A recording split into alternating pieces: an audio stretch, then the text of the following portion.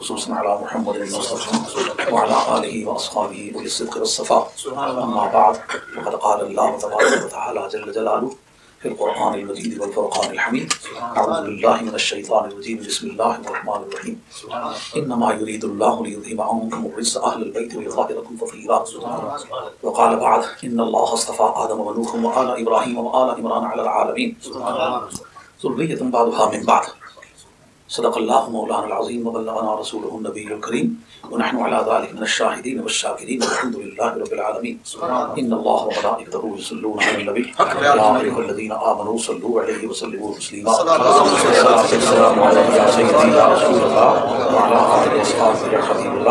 सलाम सलाम या सैदी या रसूल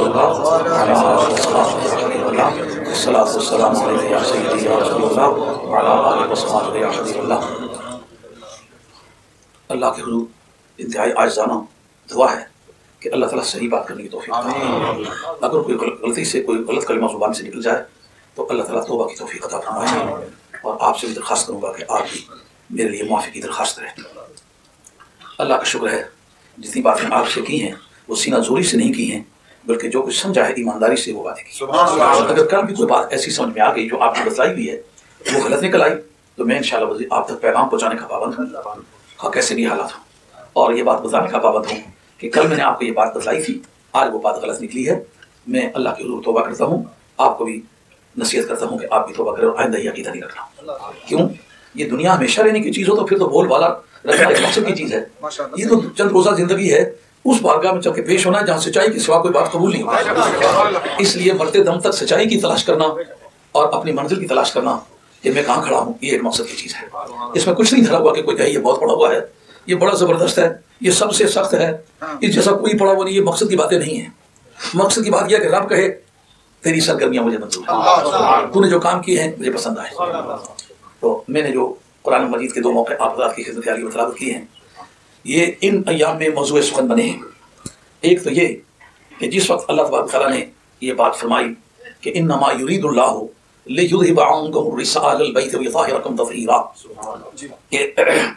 अल्लाह। इरादा फरमाते हैं। वजूद इसके नहीं है कि अल्लाह इरादा फरमाते हैं कि तुमसे नापाकीजगी को दूर कर दे। ए घर में रहने वालों और तुम्हें पाक कर दे जैसा पाक करने का हक है।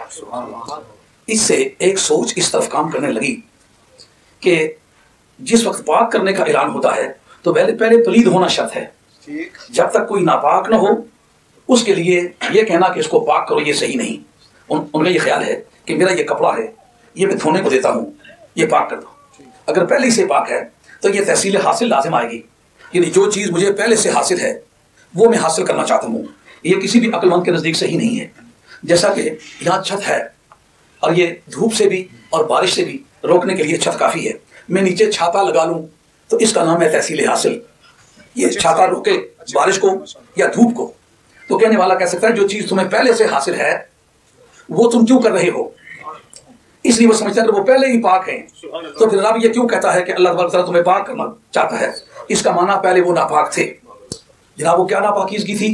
कहने वाले की सोच है कि उनके दिमागों में तकबर के बुद्ध थे। तकबर के बुद्ध थे वो निकालने के लिए। और साथ ही ये भी कहा कि ये लोग तर्जमा करते अल्लाह ने पाक कर दिया। यहाँ कहता है, पाक करने का इरादा करता है। पाक कर तो नहीं दिया। पाक कर देने का सबूत तो कोई नहीं है। अब चंद बातें इस जगह जवाब तलब हैं। पहली बात यह कि अल्लाह तबारक ये फरमाते हैं ताकि अल्लाह तुम्हें पाक कर दे। तो कोई पलीदी पहले होनी चाहिए। अब मैं इसके जवाब में अर्ज़ करूँगा कि अगर एक शख्स का वज़ू है और वो ऐसी हालत में वज़ू करता है जायज़ है ना जायज़ है? मजीद? उसमें तहारत आएगी नहीं आएगी? इसका मतलब यह कि तहारत के मुख्तलिफ़ मदारिश हैं। तहारत के मदारिज में इरतका मुमकिन है। जितना साफ़ है उससे साफ़ किया जा सकता है। जितनी तहारत है उसकी तहारत में इजाफा किया जा सकता है। वल आखिर तो खैरुल्ला का मिनल उला। जितनी तहारत मिल चुकी है उससे ज़्यादा मुमकिन है। अगर तमाम उलमा का इतफाक है इस पर कि वज़ू पे वज़ू करना बाइस सवाब है और उससे भी कोई तहारत की किस्म मिलती है तो फिर आपको मानना पड़ेगा ये तहसील हासिल नहीं। जैसा कि एक आदमी सर्दियों के मौसम में ऊपर रजाई करके लेटा हुआ है, लेकिन उतनी गर्मी नहीं मिल रही जितनी उसको चाहिए। अगर एक और रजाई कर ले रजाई पहले से है तो फिर क्यों करता है? यार, उसकी हरारत में इर्तिका मुमकिन है, क्योंकि सर्दी की वजह से सर्दी में इर्तिका मुमकिन है, इसलिए गर्मी का भी इर्तिका चाहिए। उधर नजास्ते, अंबार बना बना के मुकाबला करने के लिए सीना तान रही हो तो इधर आले बेहतर रसूल की तो हालत में तो हालत चाहिए, ताकि बड़े बड़े गुमराहों से टक्कर लेते वक्त हालत का भी अगर ये भावर ना हो तो मैं आपसे अर्ज़ करूँगा कुरान मजीद जब कहता है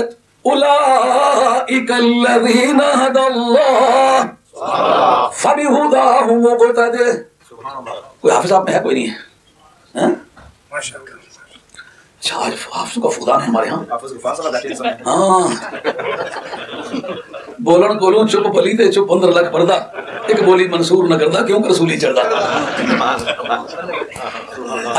आई बात ख्याल में? कुरान कहता है ऐ मेरे महबूब ये जिन नबियों और रसूलों का हमने ज़िक्र किया ना उलाइकल लजीन हदल्लाह ये वो लोग हैं जिनको अल्लाह ने हदायत दी है। आप क्या करें?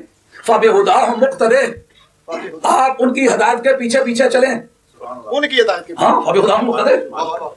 आप जनाब नबी करीम सलाम हदायत पर नहीं है? हदायत पर है ना? तो हदायत पर है तो ये क्यों कहा कि इनकी हदायत की पैरवी करें? क्या मतलब निकला? यानी एक एक आदमी को अलग अलग हमने मोजा दिया हुआ है। अब चुनता जा। ये जितने मोजात के रंग है ना ये सारे गए हुए तुझसे हैं। अब तू इनका गुलदस्ता बना के इकट्ठा कर ताकि जितने फजाइल मिल के सारी कायनात में पाए जाते हैं तेरे एक गुलदस्ते में पाए जाए दुनिया माने। कि ये इसलिए सारी कायनात का सरदार है कि वाकई इसके अंदर सिफात सरदारों वाले हैं। अच्छा मैं पूछता हूँ जिस वक्त नमाज़ में खड़े होते हो कहते मुस्तकीम मौला करीम मुझे सीधा रास्ता दिखला। उस वक्त को पूछे, तहसीलें हासिल कर रहे हो? नमाज़ के अंदर तो खड़े हो। सीधा रास्ता तो पहले से मौजूद है। अब वो कौन सा रास्ता है जो नमाज़ के सिवा मांगते हो?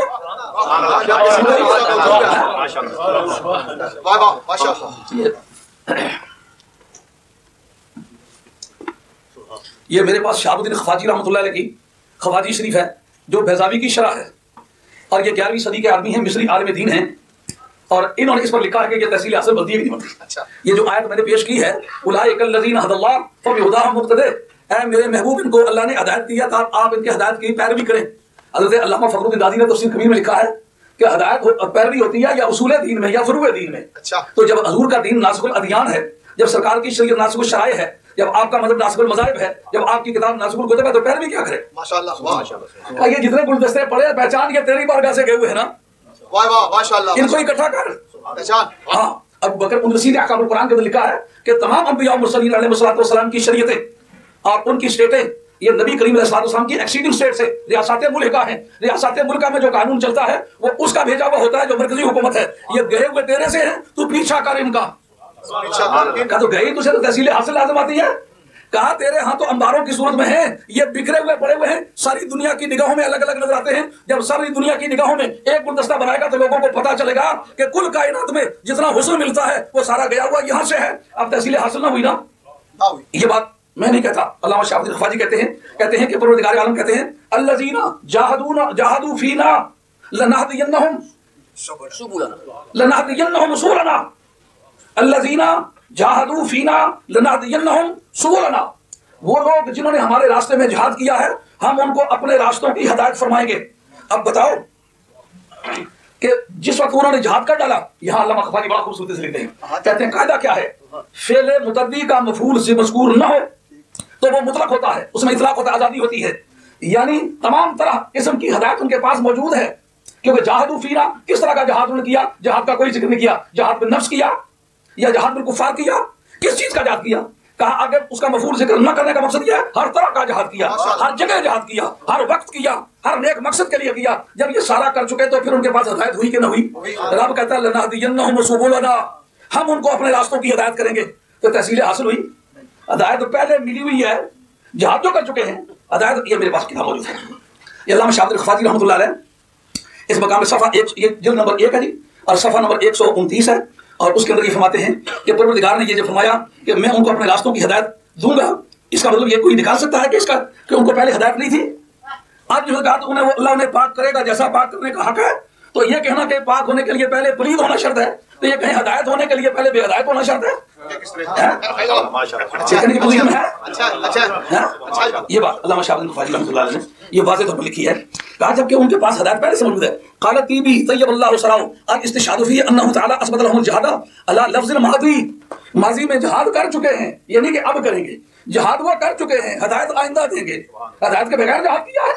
इसका मतलब हदायत के होते हुए जहाद किया है। तो फिर हदायत का देगा देगा कहा उनके बजाय हदायत में इर्तिका फरमाएगा। जिस मंजिल पे पहुँचे हुए हैं। सितारों से आगे जहाँ और भी हैं, अभी इश्क के इंतहा और भी। ये टीबी जो है, इन और जिल्दों में मिशकात सिंह की शराब की लिखी हुई है। और लुत्फ की बात साहब मिशकात शागिर्द हैं। और टीबी जो है, उनके उस्ताद हैं। और सबसे पहले मिशकात की शरह ये लिखी गई है। गालिबन सात सौ सैंतीस में अल्लामा वलीउद्दीन तबरेजी ने मिशकात लिखी और ये सात सौ पैंतालीस में उन्होंने उस्ताद होकर के इसकी शरह लिखी। वो टीबी है। वो टीबी का के हवाला पेश करते हैं। कहते हैं कि इस जगह परवरदिगार आलम ये बात इरशाद फरमाई। इसको उन्होंने यूँ माने में लिया है, अन इस्तिशाद फ़ी अन्नहु तआला असबत लहुल जहादा अला लफ्ज़ मादी व अवक़ा ज़मीर ताज़ीम ज़रफ़न लहु अला मुबालगा। ए, फ़ी सबीलिना। क्या हमारे रास्ते में, उसके रास्ते में जो जहाद कर चुका है उसके रास्ते में जहाद कर चुकने के बाद बेहदायत होता है? हैं? रास्ता रब का हो। वो हर तरह का जहाद कर चुका हो। रब के रास्ते में जहाद करने वाला हर तरह का जहाद हर तरह का क्यों कह रहा हूँ? कि ये फेल मुतदी है। फेल मुतदी का मफूल ज़िक्र न करने का मकसद उमूम और इतलाक है। इन हर तरह का जहाद राह मौला में हमारे रास्ते में। अब रब के रास्ते में हदायत के रास्ते में जहाद कर चुका हो उसके बाद कहना कि हम उसको हदायत सिखाएँगे हम उनको अपने रास्तों की हदायत देंगे रास्ते में कर चुका है। फिर क्यों कहते हो कि आइंदा हमारे रास्तों की हम उसे हदायत देंगे? इसका मतलब यह कि जिस जगह जिस मंजिल पे उसकी हदायत पहुँची हुई है उससे आगे उसे हदायत देंगे। इसका मतलब यह हुआ आले बैत रसूल पाक है। और उनकी पाकीजगी में इर्तिका मुमकिन है। यानी जिस मंजिल पर तुम पहुँचे हुए हो उससे अगली मंजिलों की भारत तुम्हें अदा करें। अरे तकबीर अरे रिसालत और मुफक्कर इस्लाम। अल्लामा पीर सैयद अब्दुल कादिर जीलानी। बड़ी समझने वाली बात है। ये बात जब समझ में आ गई तो कहने वाला कहता है इनसे तो वादा है ना? पाक करने का पाक किया तो नहीं। जैसा कहते थे बड़ी सिखा ताहरा के वस्तफा के अला निसाइल आलमीन तुम्हें अल्लाह ने पाक किया है और आलमीन पर चुन लिया है। अब हम ये पूछना चाहेंगे इनकी जो हसनैन की जो माँ है अगर वो जनाब सईदा मरियम से पहले ही अफजल हो तो फिर क्या माना निकले अच्छा। जिसको उसने रब ने चुन लिया है ना ये उसकी सरदार है। उसको कह रहा है ताकि तुम्हें पाक कर दे। उसकी पाकी की तुम्हारे पास मौजूद है ना?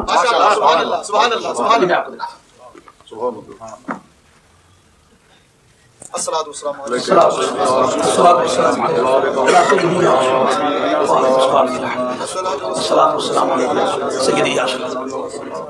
मेरे पास हज़रत अल्लामा सैयद महमूद अरूसी बगदादी रदी अल्लाह अन्हु, जो सादात में से हैं, और इनके मतलब दो तरह की बातें मशहूर है शाफी हैं, या ये हनफी हैं। इनके किताब का अंदरूनी हिस्सा मुताला करो तो पता चलता है हनफी हैं। लेकिन जो डॉक्टर मोहम्मद हुसैन साहबी है, उसने अब तफसीर वाल मुफस्सिरून जो सर्वे किया है, आलम इस्लाम की तमाम तफासिर का उसके अंदर बताया कि ये आदमी मजहबन शाफी है। अब दोनों की तस्वीर क्या है? अंदरूनी मुताला करो कहते कहा उसका बोला हमारे साहिबों ने कहा आगे बात करते हैं इमाम मुनीफा ने यह कहा है इमाम मोहम्मद ने कहा है इमाम यूसुफ ने कहा है। तो लोग तारीख बताने वाले कहते हैं कि ये शाफी है। क्या तस्वीर है? तस्वीर असल में ये है कि ये आदमी मज़हब वाकई शाफी था। और सिलसिला आलिया तरीकत में ये खुदानी नक्शबंदिया आलिया का आदमी है और शेख खालिद कुर्दी का मुरीद है। है और ये आदमी इमाम शामी का भाई है। तो इनके बारे में ये दो बातें क्यों मशहूर होती मज़हब के शाफी थे। बगदाद में हनफी भी और शाफी भी कसीर तादाद में रहते हैं। तो इतफाक ऐसा हुआ कि हनफियों का काजी न रहा। और उसकी जगह काजी भर्ती करने की ज़रूरत पड़ी। कोई ऐसा मुनासिब आदमी न मिल सका। तो सैयद महमूद आलूसी बगदादी अलैह नक्शबंदी मुजद्दिदी उनको कहा कि आप करो कहा मैं तो शाफी हूँ। उनका नहीं आप बंदे बड़े लायक हैं आपको मजाहब अरमा में महारत है। तो इनको हनफी मज़हब के मुताबिक फैसले करने पर इन्होंने जज लगा दिया। अब उसका और ज़्यादा गहरा मुताला करने का इतफाक हुआ। उसमें ये ऐसे फंस गए अब शाफी कहलाने से रहे। जी? इसलिए इमाम शाफी फातिहा खल्फुल इमाम इमाम के पीछे फातिहा नहीं पढ़ते, मगर ये कहते पढ़नी चाहिए। ये वजह है कि ये दोनों तरफ़ ऐसी बात बन गई है कि कहने वाले कहते हैं, शाफी कहने वाले शाफी कहते हैं। मगर बंदा बड़ा मौके है। ये मेरे पास उनकी ये तफसीर है, और तीसरा चौथा पारा है जिल्द के हिसाब से तीसरी और चौथी जिल्द है, और इसमें एक सौ छप्पन सफ़े पर सैयद महमूद आलूसी बगदादी रदी अल्लाह इस पर गुफ्तगू करते हैं कि सैयदा फातिमा अफसल हैं या सैयदा मरियम अफसल हैं। दोनों में से अफसल कौन है? क्योंकि कहने वाला ये तो कहता है ना कि सैदा फातिमा से तो वादा है ना पाक करेंगे। लेकिन उनसे तो वादा पूरा कर दिया कि पाक कर, कर दिया है। मुजारे के सीगे मान लेते हैं मुजारे के सीगे। लेकिन मुजारे में हाल को निकाल के भी मुजारे होता है। तुम्हें पाक करते हैं पाक करते रहेंगे। अगर कहे, आपको रोटी खिलाएँगे मुजारा हो तो इसका मतलब यह अगले साल के पर तो तीसरे महीने में खिलाएँगे, ये माना तो नहीं होगी ना?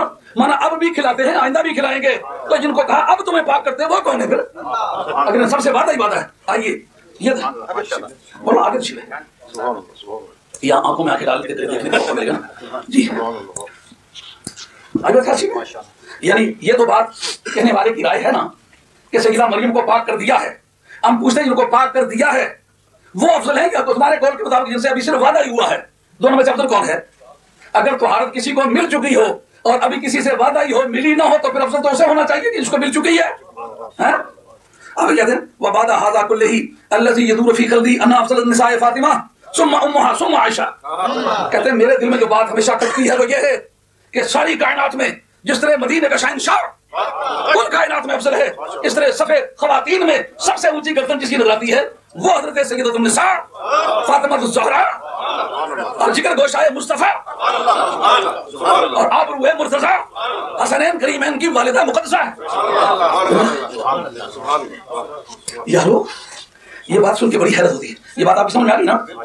कि हज़रत सैयदा फातिमा सबसे अफजल है उनके बाद खदीजा कुबरा सबसे अफजल है उसके बाद सैयदा आयशा सबसे अफजल है। अभी जनाब सैयदा मरियम का नाम नहीं है वो बात का किस्सा है। अरे ये बात समझ में आई है? यानी इनसे वादा हुआ है। अगर वादा इधर हुआ तो वादे की प्रोसीजर आपसे पूछ रहे थे खुदा करीम तेरे वादे का क्या प्रोसीजर है? इरादा करता है अल्लाह इरादा करता। है इरादे की प्रोसीजर क्या है? इज़ा अराद अल्लाह फइन्नमा यकूलु कुन? फयकून ऐसे ही है। अल्लाह तबारक का तरीका कार क्या है? जिस वक्त किसी काम का इरादा करे तो सिवाय उसके और कुछ नहीं देर होती। कौन कहने की देर होती? बस। क्यों? इरादा करके टलना ये कोता ये फ़िक्र की अलामत है कि ठीक से सोचा नहीं। अब इसकी सोच में तब्दीली आ गई है। रब की सोच में तब्दीली नहीं आती क्योंकि ये नुकसान अकल की दलील है। रब इस ऐप से पाक है। क्योंकि बात समझ में आई नहीं आई? जब रब किसी काम का इरादा करे तो फिर ऐसा नहीं कि अगले महीने में देंगे। उससे अगले महीने में देंगे। इसे टालते ही चले जाना। वो एक मरता पहाड़ के इलाके में लड़ाई हुई तो दौड़ के कहता है खदानी कसमी दौड़ी छे पीढ़ी दे जिला कोल आता मैं खदानी कसमी एने आख्या वादे करता चला जाए पूरा ना करे ये तो किसी कमज़ोर की अलामत है। रब कहता है जब मैं किसी काम करने का इरादा करूँ सिर्फ़ इतनी देर लगती है कि कहता हूँ कौन हो जाता है। इरादा करना आयत है तो से साबित है। इरादा पूरा करना इस तर्जमा किसी ने ये नहीं उन्हें पाक कर दिया है। सारे तर्जमा ये पाक करेगा। इरादा रखता है कि तुम्हें पाक कर दे। मगर अगर इसी पर इसरार है तो ये बात भी कुरान से साबित होती है। सारी बातें एक आयत से तो साबित नहीं हुआ करती ना। बाकी आयत, जैसे कहा कि जनाब, अल्लाजीन आमनु वलम यलबसु ईमानहुम बिजुल्मिन। उलाइका लहुमुल अमन व हम मुहतदून।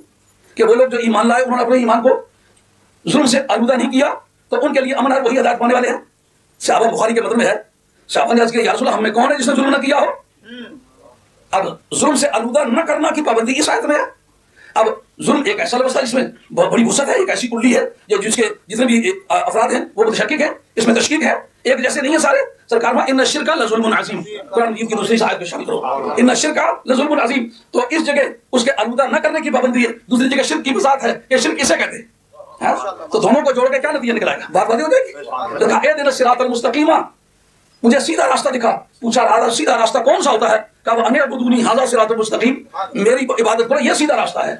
कहा अनाम तालीम उन लोगों का रास्ता बतला जिन तूने नाम किया। कहा, वो आदमी कौन से हैं जिन तेरा नाम हुआ? कहा मैं युतिल्लाह व रसूला, फउलाइका मअल्लज़ीना अनअम अल्लाहु अलैहिम मिनन नबिय्यीना वस्सिद्दीकीना वशुहदाए वस्सालिहीन इस तो ये कहा ना कि उन जिन पर तेरा इनाम हुआ, उनका रास्ता मुझे बतला। तो दूसरी आदमी बतला वो नबी हैं, वो शहीद हैं, वो सालिकीन हैं। अब अगर यहाँ तर्जमा करने वाला को कर दे, मुझे शहीदों का सालिकों का, नबियों का रास्ता बतला दे तो कहे तर्जमा गलत किया है। नहीं, इस जगह तो तर्जमा ये मौजूद नहीं है, लेकिन हासिल तर्जमे का कुरान मजीद के दूसरे मौके पर मौजूद है।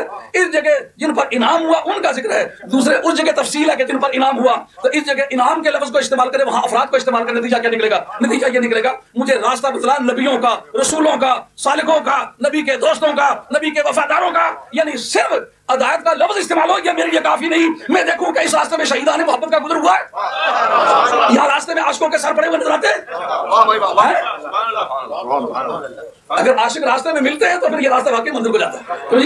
तो इरादा करना इससे साबित, इरादे को पूरा करना इससे साबित। और उस सत्य के ना, कि पलीदी क्या थी? यानी अहले बैत में पलीदी क्या थी? तहकीक भी देखिए। बैत में पलीदी थी तकबर के बुत थे। इससे मुराद, आज के सैयद, आज की सैदानियाँ, आज के बेचारे, ये गरीब कबीले सादात के, किसी जगह रोटी भी पेट भर के मिलती है, किसी को नहीं मिलती। तो गुर्बत अमारत अल्लाह के हाथ में है, लेकिन नबी पाक का खून है। उनसे महल में बैठ के सारे सादात को घूरना, ये इस्लामी अकीदा तो नहीं है। माली तफावत तो होती रहती है। ये पैसा मुझे सिखों के पास है, हिंदुओं के पास है, ईसाइयों के पास है, गवैयों के पास है, जॉनसन्स के पास है, दुनिया के जलील तरीन इंसानों के पास पैसा है। मैं पैसे की वजह से उनको रिजेक्ट करते हो। नहीं पैसे की वजह से रिजेक्ट करने का तुम्हें कोई हक नहीं। वो लोग जो खातून जन्नत का खून अपनी भाड़ियों में रखते हैं वो आले बैत रसूल है। उनको उस तकरीर में बाकायदा तौर पर हिस्सा हासिल है। और उनको हकीर समझना शर्म हराम है। आपको मानना पड़ेगा कि वो भी उसमें शामिल है पर तुमने जो ये कहा कि तकबर के बुद्ध हैं हम ये इस वक्त पूछना चाहेंगे ये आयत नाजिल किसके हक में हुई? माशाल्लाह अच्छे सवाल माशाल्लाह। अस्सलाम अस्सलाम वालेकुम सय्यदी ये मेरे पास ये दस जिल्दों में जिल्द वो दसवां जिल्द है। लेकिन तरतीब बार इक्कीसवें से लेकर के तेईसवां पारा तक इसमें है। ये जो जुज़ नंबर इक्कीस है इसके पेज नंबर पाँच से लेकर के सात तक आयत तरतीब की बहस है। ये मैं आपकी खिदमत पेश करता हूँ। आप मुलाजा फरमाएँ कि यकीन के बारे में नाज़िल हुई है। फिर पता चल जाएगा ये नज़र आ रही है ये तबरी है मेरे हाथ में। ये क्या क्या इसका तारुफ कराऊं? इमाम तबरी ईरान के रहने वाले हैं। जो दर्जा बुखारी का इल्म हदीस में बनता है तफसीर में तफसीर इब्ने जरीर का तफसीर तबरी का तफसीर इब्ने जरीर इसी को कहते हैं। तफसीर तबरी भी इसी को कहते हैं। वही दर्जा बनता है इस तफसीर का तफसीरों की दुनिया में। इसका ज़िक्र इब्ने अब्दुल वहाब नज़ीर ने भी अपनी किताबों में किया जो हमारे मुखालिफ धड़े का है। अल बदाया वन नहाया के अंदर इनका ज़िक्र छेड़ के तो इमादुद्दीन इब्ने कसीर ने ये कहा है पहले दर्जे की तफसीर जो आलम इस्लाम में मोतबर है उसका नाम है तफसीर इब्ने जरीर। तीन सौ दस सने हिजरी में इनका विशाल हुआ और इसके बारे में अल बदाया वन नहाया का पक्का सुनी अच्छा मुहद्दिस अच्छा मुफस्सिर अच्छा लुगवी। अच्छा अदीब अच्छा खतीब टक्कर का आदमी जिसकी सच्चाई में कोई शक व नहीं। ये इमादुद्दीन इब्ने कसीर का कहना यह मुखालिफ धड़े की बयान है। हाँ। ये मुखालिफ धड़े का बयान है क्योंकि ये इब्ने तैमिया का शागिर्द है। इब्ने तैमिया सात सौ अट्ठाईस में वाला है। उससे भी इसने बड़ा है। इब्ने कय्यम से भी बड़ा है। सात सौ इक्यावन से लेकर के सात सौ पचपन तक उनकी वफात के बारे में इख्तलाफ आता है। और इनका अपना सात सौ चौहत्तर या सात सौ पचहत्तर बाद में सात सौ चौहत्तर लिखा लेकिन मैं समझता हूँ सात सौ पचहत्तर ज़्यादा सही है। तो ये इमादुद्दीन इब्ने कसीर है इमादुद्दीन इब्ने कसीर ने इनकी तारीफ़ की है, इनकी वफात सात सौ दस में है। तीन सौ दस में है तो तीन सौ दस में इनकी वफात होना इसका मतलब बहुत करीम तरीन तफसीर है और तफसीर बिलमासूर है। इसकी स्पेशलिटी यह है कि कोई भी आयत कुरान मजीद की इस आदमी ने पेश की है ना तो सरकार के होंठों तक, सरकार के अमल तक, सरकार की खामोशी तक, उस आयत के मफहूम को ले गया है, कोई आयत ऐसी नहीं छोड़ी जिसके नीचे हदीस पेश की इस आदमी ने यह बतलाया है कि यह आयत किसके बारे में नाजिल हुई जनाब, इस पर आप मुलाजा फरमाएँगे तो आपको बड़ी हैरत होगी। ये सोलह रवायतें मरफू जो सरकार तक पहुँचती है। इनके बारे में नाजुल ये लिखते हैं। और अभी शहीद खुद रदी काला काल रसूल नजरत हाजिल आया फ़ी खम सदिन हज़रत अबू सईद खुदरी मदीना तयबा के रहने वाले थे। हैदर करार के साथ सारी जंगों में शामिल रहे। वो कहते हैं कि सरकार को मैंने ये कहते हुए खुद सुना। क्या? ये पाँच के बारे में नाजिल हुई। किस किस के बारे में? फिया वफी अली रदी अल्लाह व हुसैन रदी अल्लाह अन्हु व फातिमा रदी अल्लाह यहाँ से लेकर के आगे 15 रवायतें और हैं जिसमें नबी पाक के बोल शामिल है सरकार का अमल शामिल है मरफू हदीसें सरकार तक पहुँची हुई हदीस का नाम है मरफू सोलह रवायतों में है कि ये मेरे बारे में नाजिल हुई है हसन के बारे में नाजिल हुसैन के बारे में नाजिल हुई है फातिमा के बारे में नाजिल हुई है अली के बारे में नाजिल हुई है अच्छा इसके बारे में हज़रत अल्लामा बदरुद्दीन सरकशी आपकी किताब अल बुरहान फ़ी कुरान। उसके अंदर ये लिखा हुआ है कि शान नजूल को इजमाए उम्मत के ज़रिए से भी मफहूम आयत से आप खारिज नहीं कर सकते। इसका मतलब ये होगा इस आयत में जो कुछ का पहला मुखातब सरकार की जात है। फिया मेरे हक में नाजिल हुई है। अली के हक में। दूसरा मुखातब अली होगा तीसरा हसन होगा तो चौथा हुसैन होगा और पांचवी खातून जन्नत होंगी। अब मैं ये पूछता हूँ अगर ये कोई कहने वाला कहता है कि उनके दिमागों में तकबर के बुत थे, उनको निकालने के लिए रब ने कहा कि रब तुम्हारी निजासत को दूर करे। हैं? क्योंकि पहले इससे पाक होते तो फिर पाक करने का माना ही क्या था तहसील हासिल तहसील हासिल का जवाब तो दे चुका वो काफ़ी वाफी बकदर काफ़ी वाफी अब ये सवाल है कि जिस वक्त कहने वाला ये कहे कि अहले बैत के दिनों दिमागों में तकब्बुर का बुत था तो पहला मुखातिब इसका होगा कौन? पहले वो मुखातिब होंगे। अगर आयत का शान आयत की शान नजूल वो हैं तो पहले तो वो मुखातिब होंगे। अगर पहले वो मुखातिब हैं जैसा कि मुतकलिम के कलाम से ज़ाहिर है तो फिर यह मानना पड़ेगा कि नबी पाक अलैहिस्सलाम के दिमाग में माजल्ला तकब्बुर के बुत थे खातून जन्नत के दिमाग में तकब्बुर के बुत थे हसन हुसैन के दिमाग में मोहता मुर्तजा के दिमाग में तकब्बुर के बुत थे उनको दूर करने के लिए तो बुद्ध की निस्बत और तकब्बुर के बुद्ध की निस्बत इसका मफहूम मुतबाद बैठे हुए से पूछो। बुत के बारे में जो फौरी तौर पर दिमाग में जहन में बात आती है वो पूजा की आती है नहीं आती? पूजा भी आती जिसको कोई पूजा ना चाहे उसको बुद्ध नहीं कहते। बुद्ध का मफहूम तो पूजा ही है। तो ऐसा ऐसा भी कोई लफ्ज होगा कि बुत इस्लाम की बोलचाल में इस्तेमाल हो तो प्रस्तिश के बगैर उसको बुत कहा जाए? हाँ जी तो तकब्बुर के बुत थे उनके दिमाग में। तो नबी पाक इस्लाम की तरफ़ तकब्बुर के बुत की निस्बत करना इसमें ईमान की हिफाजत की ज़रूरत होगी। सरकार हो उनको कहे तकब्बुर का बुद्ध उनके दिमाग में था। उसके बाद खातून जन्द वो पाक वो मुताहर खातून है कि जिसके बारे में यह है कि विलादत के वक्त कोई निजासत बरामद नहीं हुई। जवान हुई बालगा हुई आपको मेंसेस नहीं आए।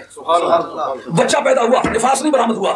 जो ही बच्चा पैदा हुआ फ़ौरन गुस्ल किया क्योंकि खून नहीं बरामद हुआ निफास बरामद होता तो आप देर कर दी इंतज़ार कर दी फ़ौरन गुस्ल किया और उसके बाद नमाज़ पढ़ी। सैयदा की तालब गोर एक नमाज़ कजा नहीं अली मुर्तजा शेर खुदा रज़ी अल्लाह अन्हु जिसको फरमाया अन्नदरो इला वजह अली इबादतुन। इसके चेहरे की तरफ़ देखना इबादत है तो खुद जो पलीद हो, जिसके दिमाग में ये तकब्बुर का बुत हो, उसके चेहरे की तरफ़ देखना इबादत होता है। हैं? रह गए हसन। हुसैन हसन हुसैन, इमाम हसन हुसैन दो बरस के क्योंकि ये वो वक्त है, गजवा अहजाब में इसका नजूल हुआ। क्योंकि सूरह अहजाब जो इसका नाम है। इसमें अहजाब की जंग का भी खूब ज़िक्र है, जनाब सैयदा जैनब के निकाह का भी ज़िक्र है, और बतफाक मुफसरीन बतफाक मुर्रखीन बतफाक मुहदसिन ये दोनों बातें पाँचवें साल हिजरत में हुई। जनाब सैदा का निका अगर दूसरे साल हिजरत में बदर की चंद रमज़ान के बाद हुआ, उसके नौ महीने बाद साहब ज़्यादा पैदा हुआ तो ज़ाहिर वो तीसरे में पैदा हुआ होगा। जब वो तीसरे में पैदा हुआ तो पाँचवें में उसकी उम्र कितनी हुई होगी? है? दो साल। तो दूसरा जो है भाई के विलादत के एक साल बाद पैदा हुआ, उसकी कितनी उम्र हुई होगी? एक साल। तो जो अभी बच्चे हैं माओ की गोदों में, उनके दिमाग में तकब्बुर का बुत है? आइए।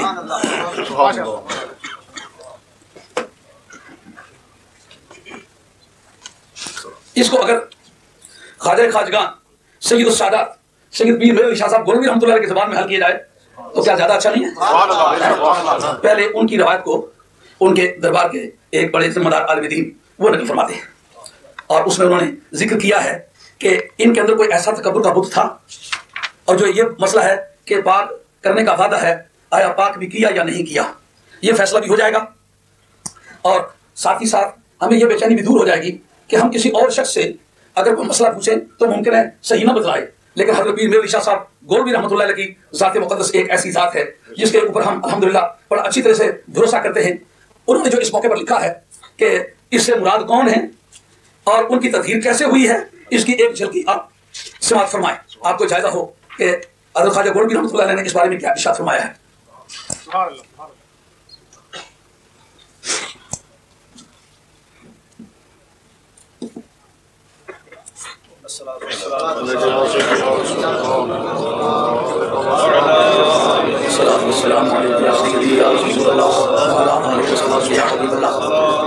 आप फरमाते हैं कि ये जो इनके फजाइल हैं ये कस्बी नहीं है ये वाबी है। तस्वीर नहीं है हाँ इन्होंने कहने वाला तो कहता है जनाब इनका मतलब ये था कि साथ साथ तुम्हें फजाइल अहल बैत मिलते जाएँगे तो तुम्हें तुम काम करते जाओ और जो जो तुम काम करते जाओगे आगे बढ़ते जाओगे अल्लाह के अकाम पर अमल करते जाओगे साथ साथ तुम्हें तफहीर मिलती जाएगी। यानी ये फजाइल उनके कस्बी हैं। ये अताई नहीं है। खुदा के दिए हुए नहीं है, उनके कमाए हुए हैं। और ये इसका नतीजा नहीं है कि सरकार के घर पैदा हुए, बल्कि इस बात का नतीजा है कि खुद उन्होंने मेहनत की है। यार, ये मेहनत तो सारी उम्मत के लिए दरवाज़ा खुला हुआ फिर इसमें बेहतर रसूल की क्या खसूसियत है। कहते हैं इन खजानी इल्मी को देखने से पता चलता है कि आले बैत रसूल किस शान के मालिक हैं। नीस तारीख इस्लाम और बुजुर्गान दीन के आवाज़ से बखूबी वाज़ हो जाता है कि कमालात मोहम्मदिया का जो खसूसी जहूर आपकी पाक व तैयब औलाद के बाज कामिलीन से हुआ उसकी मिसाल दीगर अकाबरीन मिलत में कहीं नज़र नहीं आती। क्योंकि इन हजरात को कमालात कस्बिया के अलावा जो फजाइल बतौर विरसा हुआ भी हाँ बतौर विरसा जिस तरह आपको अपने अबे की ज़मीन सिर्फ़ इसलिए मिली है कि आप उसके घर पैदा हुए हैं। उनमें अगर एक हाजी साहब हों नमाजी साहब हों उनको दो कनाले फालतू मिलेगी? इस तरह बतौर वह भी कसबी नहीं वाकई तौर पर लंगोटा हुए। अब ये जो फटे पुराने कपड़ों वाले सैयद हैं गरीब हैं बेरोजगार हैं आसियतें गिरी हुई हैं इनको ये ना जानना कि ये औलाद फातिमा है। वाह वाह। मैं इस तरीके की किए हुए कपड़ों को सही समझना हजूर की बारगाह में जब पेशी होगी फिर पता चलेगा मेरे इन गरीब बच्चों को क्या तुमने डांटा है। हाँ वाह अल्लाह वाह। उनमें अपनी मिसाल आप ये फजाइल दर हकीकत। वही फजाइल और कमालात मोहम्मदी ध्यान मेरी ये दर, ये फजाइल दर हकीकत वही फजाइल और कमालात मोहम्मदिया हैं। जो इस बाग खानदान में नस्ली तौर पर और बतौर विरासत, बतरीक विरासत के जलवागर होते चले आए हैं।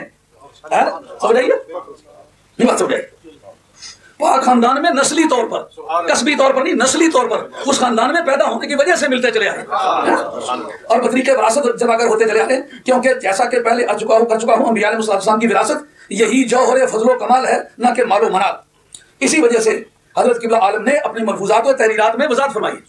ये मौलाना फैज अहमद साहब गुरडवी मद्दाजिलुल और दामद बरकातुल आरिया अपने तहरीर में बतलाते हैं कि चूँकि फजाइल अहले बैत किराम महूबी हैं इबे में मिले हुए हैं ये कसम में नहीं ये वेजिज नहीं है ये गिफ्ट है। समझो? इसलिए कोई शख्स रियाजात व मुजादात से खूने नबवी की तासीरों फयूजों, बरकत को नहीं पहुँच सकता। बात बोले पड़ी नहीं पड़ी। यानी नमाजों रोजों की मेहनत से और इस रसलिंग से कोई चाहे कि औलाद रसूल के बराबर हो जाए ख्वाजा गोल्डवी के बयान के मुताबिक नहीं हो सकता। क्योंकि जो कुछ भी हजरात अहले बैत किराम को इस पर, इस तौर पर अता हुआ, वो उनकी कोशिश का नहीं, बल्कि महज अनायत अजली का नतीजा है। कोई माना मुबम रह गया? आगे देखिए। जैसा कि आयत तदहीर से साबित है और तालिब जब तक इस मकाम पर न पहुँचे, अल्लाह मोहम्मद के जौक शौक से रूशनास नहीं हो सकता। इन हजरात की रफत शान के मुतलिक कुछ अरबाब बसीरत व कशफ शहूद और कलंदराने वैसे ही बदला सकते हैं। आइए इससे आगे वो एक और बहस छेड़ते हैं कि एक मरतबा बूढ़े कलंदर अलैह की बारगाह में किसी सैयद जादी ने आकर एक शिकायत की कि सुल्तान अलाउद्दीन खिलजी, उसने कुछ मेरे शान में कमज़ोरी दिखाई है। तो उसके बारे में लिखते हैं कि बूढ़े कलंदर, उसको चिट्ठी लिखते हैं सुल्तान अलाउद्दीन खिलजी को। कहते हैं, हज़रत शाशरभू शाशरफुद्दीन भू अली कलंदर पानीपति के बयान किया जाता है कि एक बेवा सैयदा की शिकायत पर उन्होंने मुंदरजा जहर रुबाई सुल्तान अलाउद्दीन खिलजी को लिखकर भेजी थी। क्या रुबाई थी? सादात अफजलन तो मुबद फजल शाह जली औलाद मुर्तजा वो जिगर गोश्त है नबी। सादात अफजल हैं। और उनकी शान बड़ी वाजे है, क्योंकि वो हज़रत मौला मुर्तजा की औलाद हैं और नबी पाक अलैहिस्सलाम का खून है। बरफेल शान नज़र मकुन है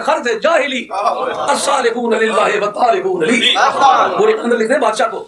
सुल्तान अलाउद्दीन खिलजी को बादशाह वक्त है। एक शैदानी के मतलब कमज़ोरी दिखाई है तो कहते हैं बरफेल शान नज़र मकुन, उनके कामों को मत देख ए खर, जे जाहिली। और गधे जहालत की वजह से उनके फेलों को मत देख। क्यों? सरकार का मौके देख। सरकार ने अकरबू औलादी। मेरी औलाद की इज़्ज़त करना। कहा कि यार सुलाम को अच्छे होंगे को बुरे। अस्सालिकून लिल्लाह है। व तालिकून अली। जो उनमें अच्छे होंगे उनकी इज़्ज़त अल्लाह के लिए करो कि अल्लाह के अच्छे बंदे हैं। जो उनमें खराब निकला मेरी वजह से हजूर का ये सिर्फ़ आल के बारे में मौकफ नहीं पूरी उम्मत के बारे में ये मौकफ है। जिस वक्त महराज की रात अल्लाह के हुजूर में हाजिर हुए। अल्लाह करीम ने पूछा ऐ मेरे महबूब महबूब क्या लाए हो? कहते हैं अतहियातुलिल्लाह व सलावत व जानी माली और कौली फिर इतनी इबादत अपनी अपनी उम्मत की तेरे हुजूर में नजराना लाया मेरी तरफ़ देखना। ये नजराना लाया हजूर ने देखा कि मैंने जो तोहफा पेश किया वो अपनी तरफ़ से भी पेश किया है। अपनी उम्र की तरफ़ से भी पेश किया है। लेकिन सरकार ने सिर्फ़ मेरा नाम लिया है मेरी उम्मत का नाम नहीं लिया।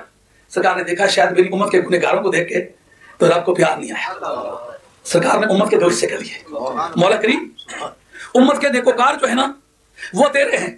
उम्मत के गुनेगार मेरे हैं। मेरी उम्मत के नेक लोगों को अपना बंदा समझ के सलाम भेज। और जो उम्मत के घटिया गुनेगार हैं उनको मेरा उम्मती समझ के सलाम भेज।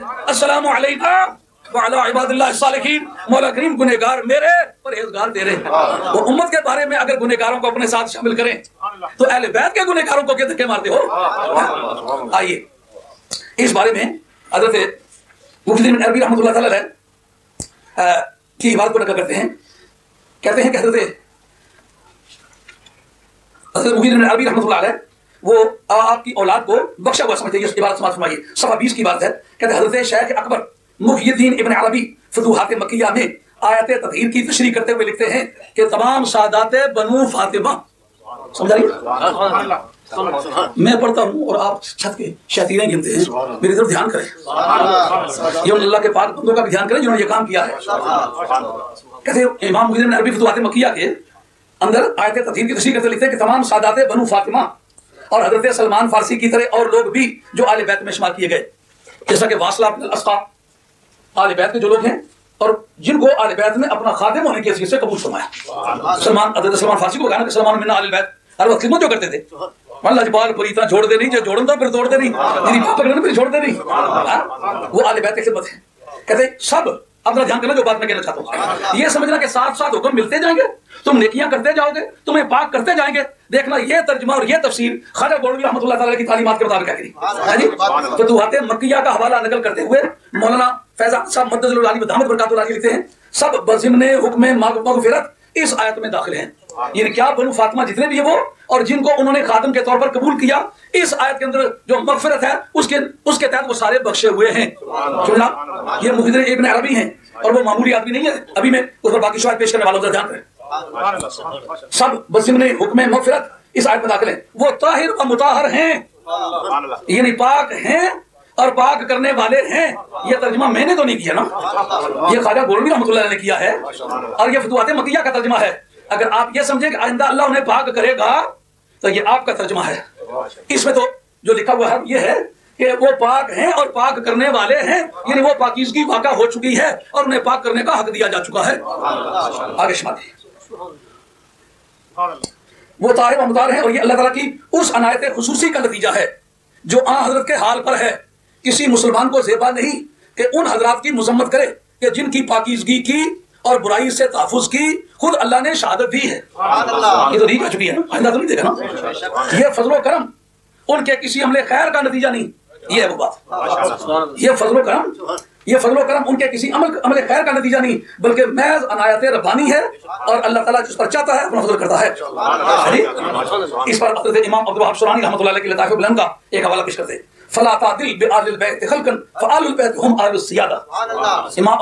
अपनी सदी के मुजद्दिद माने जाते मिस्र के रहने वाले ये कहते हैं कि तुम आले बैत के साथ किसी मखलूक को तू तो बंदों के बारे में किसी मखलूक को। बराबर ना करो। तो कल भी झगड़ा इस पर पड़ा था ना याद है आपको? कि मैं कह रहा था कि आम बशर आम फरिश्तों से अफजल हैं। तो एक मौलाना उठ के खड़े होकर कहने लगे कि ये आपने शराकायत का हवाला दिया है। तो शराकायत में तो कहीं नहीं है। आप इस बात के गवाह हैं। हाजी मुंशी साहब इस बात के गवाह हैं। काजी अब्दुल साहब गवाह हैं। मैंने वापस आके किताबों को तरदीद देके कहा मैंने आता हूँ। तो मेहरबानी करके मैं आप इतनी सहमत उठाएँ। कि देखें ये लिखा हुआ है कि नहीं? जब मैं कहता हूँ मैं मुदरिस हूँ मैंने पढ़ाई हुई है किताब उसके अंदर लिखा हुआ है। और कोई मुसलमान को याद हो या ना हो अलहमद शरीफ ज़रूर याद होती है क्योंकि शुरू में है। आखिरी सूरत वो नास है वो ज़रूर याद होती है। तो ये ये चैप्टर जो है ये शराकात का आखिरी चैप्टर है। अगर सचमुच कोई आदमी पढ़ा हुआ हो तो उसको तो पता होना चाहिए। इसके अंदर ये लिखा हुआ मौजूद है। है कितने मबसूख से कह रहे थे? उसने सारे साथी को कह रहे थे आप ज़्यादा कर। रहे हैं एक आदमी को मैं कह रहा हूँ कि मैंने लिखा हुआ देखा तो कह रहा हूँ। वो कहता नहीं लिखा हुआ। तो फिर वो लिखा हुआ था कि नहीं? है? वो सारी किताबें तीन किताबों के नाम लिखे थे। बेजावी का नाम लिया था पेश की कि नहीं। तफसीलात अहमदिया का नाम लिया था पेश की कि नहीं। शराकात का नाम लिया था पेश की कि नहीं। सब है ना? यहाँ भी कहते हैं कि फला तादिल बे आल बैत खलकन। किसी भी मखलूक को अहल बैत के साथ बराबर मत कहो। फआल बैत हम आल सियादा। आल बैत जो है ये सरदारी वाले लोग हैं। फबुहु मिनल इंसान खुसरुन। हकीकी मुहब्बुहु इबादा। जो आल बैत रसूल सल्लल्लाहु अलैहि वसल्लम उनका बुग्ज इंसान के लिए हकीकी खसारा है। और उनकी मोहब्बत जो है ये सचमुच इबादत है। ये तो वो था जो कि मौलाना फैज अहमद साहब मदजुल आली किबला ने इरशाद फरमाया जो असल किताब है खाजा गोलवी रहमतुल्लाह की है। जिसका नाम है तस्फिया। अब आप इसको बुलाकर फरमाएँ कि खाजा गोलवी ने अपने कलम से जो लिखा है उसमें इसमें कितना डिफरेंस है? ये मेरे पास किताब जो हज़रत की है अल्लाह आपका जन्नत में मुकाम बुलंद फरमाए। आपकी दीनी खिदमत है। अल्लाह ताला कबूल फरमाए। और क़यामत तक आल हक इनकी खिदमत पर नाज करते रहेंगे और नाज बजा होगा।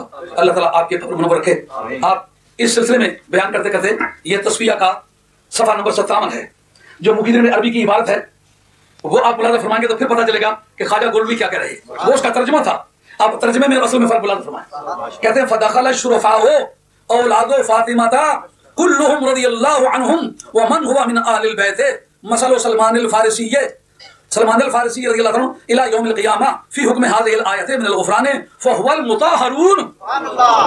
फरमाया कि इसके अंदर औलाद फातिमा का कोई फर्द भी खारिज नहीं है। ये कहना जो आले बैत में से नेक है उसको तो दरूद जाता है वो आले मोहम्मद है। और जो नेक नहीं है वो आले मोहम्मद नहीं है। अफसोस। सर अफसोस। आए खाजा गोलवी। खुदा तेरी कब्र बनोबर रखे। कितना मिलत पे एहसान किया। जब हुजूर किरदगार हाजिरी होगी, खातून जन्नत के हाँ पूछ होगी। उस वक्त ये पूछने की पोजीशन में होंगे, मेरी औलाद के गुनहगारों को बुरा कहते रहे? और बालक, ऐसा होता है कि कोई कमज़ोर बच्चा माँ को ज़्यादा अच्छा लगता है। मैंने अपने वक्त के एक मजलूम माँ को देखा है। कितने उसके बच्चे खिदमत करने वाले, उनसे उतना प्यार नहीं करती। एक निहायत नालायक बेटा है, उससे प्यार करती।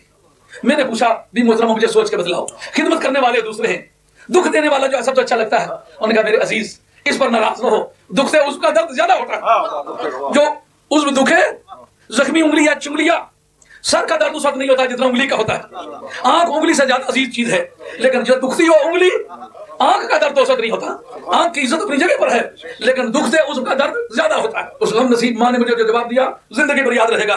उससे मुझे यह भी समझ आ गई, जो सरकार ने फरमाया, नेक जो अल्लाह के लिए उनसे प्यार करो, जो घटिया आदमी मेरी औलाद में से, वो तुम्हारे नज़दीक घटिया होंगे, मेरे नज़दीक नहीं है, इसलिए कि मैं उनको अपना जुर्म समझता हूँ, मेरी वजह से उनकी इज़्ज़त करो। दुख से उसका दर्द ज़्यादा होता है।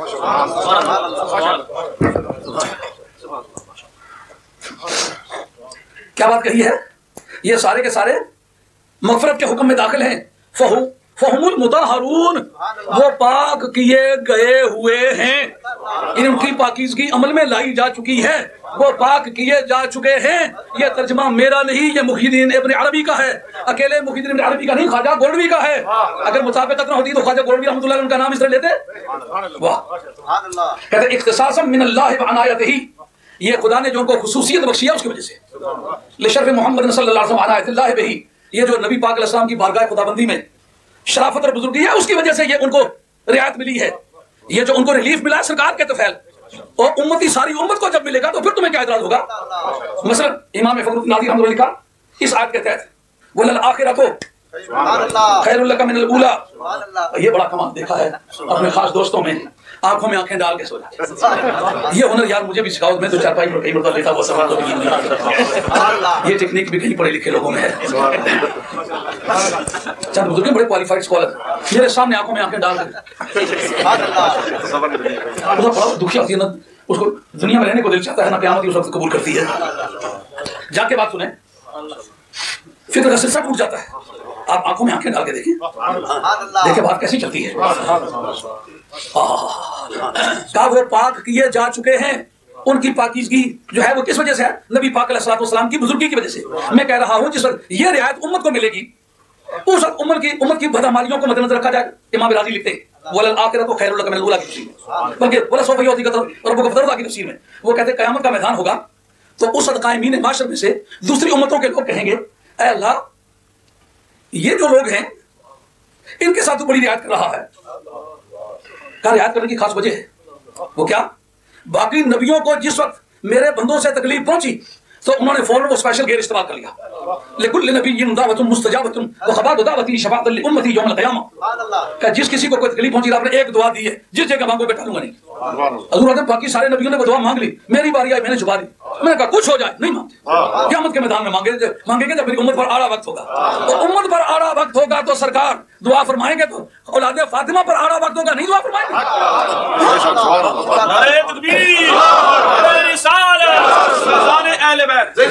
उस जगह मसला ये छिड़ेगा कि ये लोगों को जो पिटाई हो रही है उसके मुकाबले उम्मत मोहम्मदिया को ऐसा नहीं हो रहा का दरअसल बात यह है इस मेरे यार ने खास उसूल इख्तियार किया। एक तो दुआ छुपा के रखी हुई है दूसरा उसूल ये इख्तियार किया कि दुनिया में जब भी कभी मेरे बंदे से तकलीफ़ पहुँची मेरा बंदा समझ के माफ़ कर दिया। जब इसके किसी रिश्तेदार ने मेरा हक जाय किया तो मेरे हक को इतना माकूल समझा के अपने रिश्तेदार को माफ़ नहीं किया। उसकी मिसाल जब नबी पाक को पत्थर मारे गए सरकार लहूलुहान हो गए सरकार ताजदार मदीना सलाम ने अपील दायर के अल्लाह की अल्लाह हमारे कौमी फइन्नुम ला मौला करीम, इनको क्या पता मैं कौन हूँ? ये बेचारा नादान इसको कुछ इनको चश्मे बसीरत अता फरमा। इनको क्या पता मैं कौन हूँ? अगर इनको पता चल जाए तो इनकी गर्दन मेरी बारगाह में कभी उठ ना सके। इनको पता ही नहीं। जब बच्चे बच्चे से ना छिड़े बेचारे को क्या पता? अपील पिटीशन दाखिल करते हो ग्राउंड क्या देते हैं? फइन्नुम ला यालमून। ये जुमला मुस्तानिफा, जिसको अंग्रेज़ी में कहते हो, जुमला मुस्तानिफा। जुमला मुस्तानिफा सवाल मुकद्दर का जवाब है। यानी सवाल ये पैदा होता है कि इनको तू हदायत मांग रहा है इनके लिए? इन्होंने ये जुल्म किया तुम पर? कहते क्योंकि ये मानोगे क्योंकि ये जाहिल है? इनको पता ही नहीं है कौन हूँ। ये कौन था? सरकार का कुछ नहीं लगता था। अल्लाह का बंदा समझ के माफ़ लेकिन जिस वक्त अहजाब की जंग में आकर उन लोगों ने परेशान किया और नमाज़ कजा करवा दी, उस वक्त हज़रत नबी करीम अल्लाह मौला करीम इनके पेटों में आग भर दे। उस जगह सवाल उठता है, जिसने पत्थर खा के दुआएँ की हैं वो आज नमाज़ के कजा होने पर क्यों दुआएँ जर कर रहा है? लफ्ज बदुआ का इस्तेमाल मुहद्दिसीन के तबके ने अंबिया के लिए इस्तेमाल करना जायज़ नहीं समझा। वो कहते लफ्ज बद नहीं इस्तेमाल करना चाहिए। दुआएँ जरर बदुआ नहीं कहना। है तो इसने दुआएँ ज़रूर की। हाथ पहले पढ़ रही नहीं पढ़ रही। अच्छी तरह होकर पढ़ रही है आगे चलूँगा? दो बातें हो गई। एक आदमी ने सरकार की बॉडी को नुकसान पहुँचाया। खुदाया, ये बंदा तेरा है, नुकसान मेरा है। मैं अपना अपना नुकसान तेरा बंदा समझ के, माफ़ करता हूँ। ये जिन्होंने नमाज़ कजा करवाई है, ये रिश्तेदार मेरे हैं, नमाज़ तेरी है। अपने रिश्तेदारों को तेरा हक माफ़ नहीं करता। अगर तेरे हकूक में फ़र्क लाया कितना भी रिश्तेदार छोड़ू करे। कयामत के मैदान में उम्मत मोहम्मदिया, आले बैत रसूल से सलूक करते वक्त करीम चौधरी ये कहेगा ए मेरे महबूब तुमने दुनिया में पत्थर खा के मेरा बंदा समझ के माफ़ किया ना? अगर तेरा उम्मती होगा मेरे कानून थोड़े होंगे तेरा समझ के माफ़ कर दूँगा। और अगर किसी ने मेरा बंदा होके तेरी इज़्ज़त में फ़र्क लाया है तेरे गुलामों की इज़्ज़त में फ़र्क लाया है तेरी आले बैत की इज़्ज़त में फ़र्क लाया है अपना बंदा समझ के कभी माफ़ नहीं करूँगा जैसा तूने अपने रिश्तेदारों को माफ़ किया।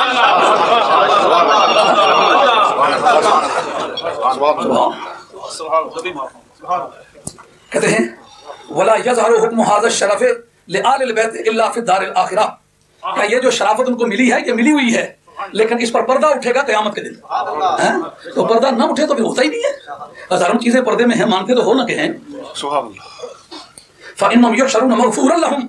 ये मुहिद्दीन नबी की बात खाली बोल कहते वो कयामत में बख्शे हुए उठेंगे। उस पर एक एतराज़ खुद जो बड़ा फकी आदमी है मुहिद्दीन नबी।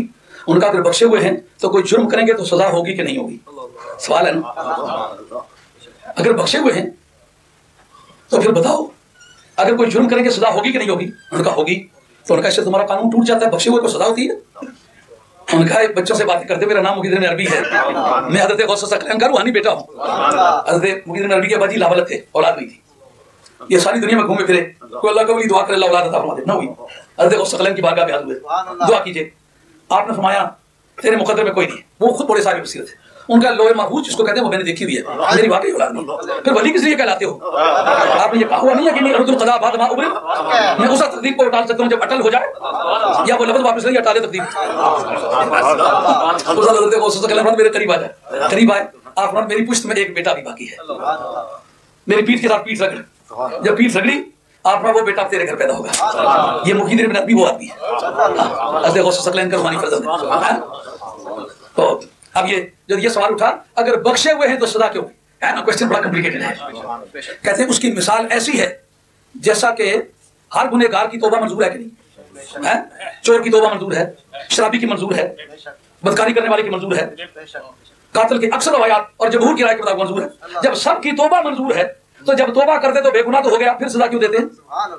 का सदा शरीयत मुताहरा की अजमत के लिए दी जा रही है और इससे तरक्की दर्जात होती है। तोबा कबूल हो गई है बंदा बेगुनाह हो गया है लेकिन बेगुनाही के बावजूद कानून की अजमत को ज़िंदा रखने के लिए सजा देनी पड़ेगी। का उसी कायदे के मुताबिक सैयद को भी सजा होगी? लेकिन फिर फ़र्क? इस पर हज़रत इमाम इब्न मक्की रहमतुल्लाह ने फतवा हदीसिया के अंदर लिखा हज़रत मुल्ला अली खानी रहमतुल्लाह ने मिरकात शर मिशकात के अंदर लिखा है। कहते हैं अगर कोई सैयद कोई जुर्म कर बैठे उसको सजा दी जाए तो काजी जज सजा देने वाला अगर वो सैयद नहीं है तो वो ये समझे कि जिस तरह लौंडी अपने मालिक के पाँव साफ़ करती है। इस तरह मैं एक सैयद की लौंडी और खादिम होने की हैसियत से उनके पाँव साफ़ कर रहा हूँ सजा नहीं दे रहा हूँ। ये शरीयत मुतारा का जो कानून है ये इसकी सफ़ाई का बायस होगा गुलाम होने की हैसियत से जिसे लौंडी पाँव धोती है मैं अपने नबी की औलाद के पाँव धो रहा हूँ। ये आगे वो बात बयान करते हैं कहते वमा फिर दुनिया फमन अता मिनहुम हद्दन उकीम अलैहि कताइबे उस पर वो हद कायम की जाएगी, जैसा तोबा करने वाले पर कायम की जाती है। इसा बलगल हाकिमान अमरहु जब हाकिम के पास उसको कोई ये मामला पहुँच जाए। वक़्त जना, वसरा ओ शरबा अलैहि हद अगर ये ये गुनाह वो कर डाले, उस पर हद कायम होगी। और इसके बाद कहा मा तहक़ुक़िल मग़फ़िरा, बावजूद इसके के तोबा से गुनाह माफ़ हो जाते हैं, लेकिन तोबा कर चुकने के बाद भी सजा इसलिए दी जाएगी कि शरीयत की अजमत कायम रहे और उसके दर्जात बुलंद हों। जैसा कमाइस वो हम साले जैसा माइज रज़ी अल्लाह अन्हु, और उनके जैसे दूसरे लोगों को हदें लगी हैं। वला यजुज़ु ज़म्मुहु उसकी मजम्मत करने की इजाज़त नहीं। ये मुला अली खारी ने भी लिखा है मेरे खास मिशकात में और फतावा हदीसियात के अंदर भी लिखा है। हज़रत इब्न इमाम हज़रत मक्की रहमतुल्लाह अलैह ने कहते हैं कि किसी सैयद के बुरे काम को काम को बुरा समझना चाहिए उसकी जात को बुरा नहीं समझना चाहिए। ये मेरा कहना नहीं ये लोगों का कहना ये खाली गोलवी का बयान। और शंभू और उसकी सामने जो है उसकी मजम्मत में मुस्लिम युमिन बिल्लाहि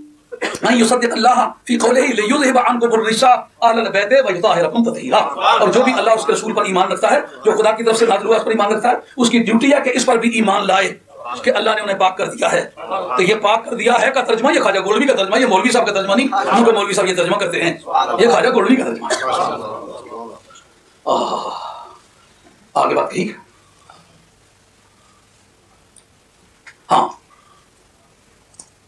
फैया तो फ़ी जमी यस्तर मिन आल बैत अन अल्लाह सुब्हानहु तआला कद अफा अनहुम और जो कुछ आले बैत से सादिर हो उसको चाहिए कि ये अकीदा रखे ये मैं नहीं कहता ये खाजा गुल करे ये अकीदा रखे आपने इनको माफ़ कर दिया क्योंकि किताब का तथीरा में वादा हो चुका है कहते किया कुछ नहीं जिस तारीख आदम अलैहि को मस्जिद मलाका बनाया था आदम अलैहि ने कितनी नमाजें पढ़ी हुई थी मस्जिद मलाका कभी अमल के बगैर भी रब कोई दे दे तो रोकता थोड़ा वला यंबगी लिमुस्लिमिन अन युलहिक अलमुसम्मत बिहिम मुसलमान को नहीं चाहिए कि मुसम्मत को ऊपर अटैच करे।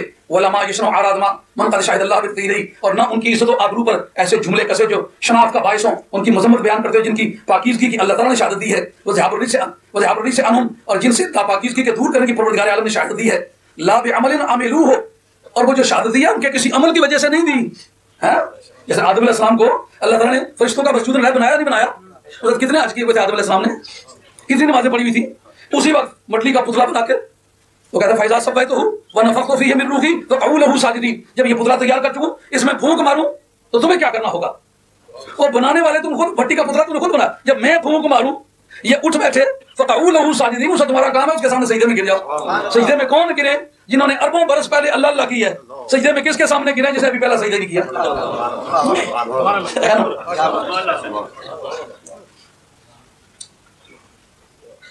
है? वला बिअमलिन अमिलूहु वला बिखैरिन क़दबूहु बल बिसाबिक़ अनायत मिन अल्लाह ज़ालिक फ़ज़लुल्लाह मन यशा वल्लाहु ज़ुल फ़ज़ल अज़ीम ये खालिद गोल्डी रहमतुल्लाह की सोच थी जो हज़रत इब्न रबी रहमतुल्लाह की तालीमात मुताबिक उन्होंने बताई अब मैं आपके सामने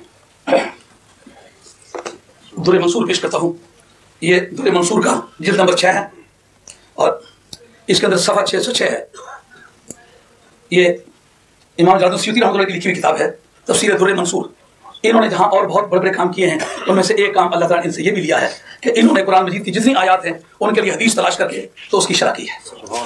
तो ये